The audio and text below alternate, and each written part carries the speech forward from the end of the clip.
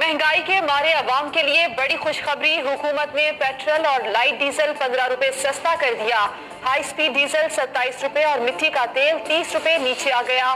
Petrol की नई कीमत इक्यासी रुपए अट्ठावन पैसे, डीजल अस्सी रुपए दस पैसे और मिट्टी का तेल सैतालीस रुपए चवालीस पैसे फ़ी लीटर हो गया। अशिया की कीमतों में नुमाया कमी का इम्कान।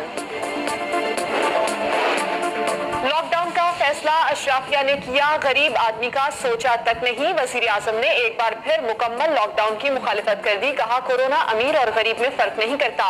एहसास प्रोग्राम में कोई सियासी मुदाखलत नहीं। सबसे ज़्यादा पैसे सिंध में तकसीम हुए। पूरे रमज़ान में जारी रहेगा। साइंस सरकार ने फैसला कर लिया। तर्जुमान सिंह हुकूमत का कहना है, तमाम पाबंदियाँ भी रमज़ान में खत्म होने तक जारी रहेंगी। वज़ीर ट्रांसपोर्ट के मुताबिक सूबे में ट्रांसपोर्ट का पहिया लॉकडाउन तक जारी रहेगा।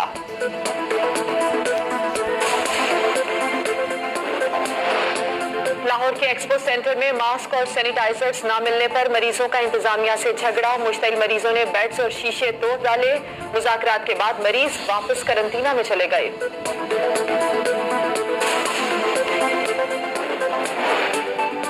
सिंध में कोरोना वायरस से मजीद बारह अफराध जान की बाजी हार गए। तीन सौ अट्ठावन नए केसेस रिपोर्ट मुल्क भर में मुतासर अफराद की तादाद सोलह हज़ार एक सौ सत्रह हो गई। अब तक चार हज़ार एक सौ पाँच मरीज़ सेहतियाब भी हो चुके हैं।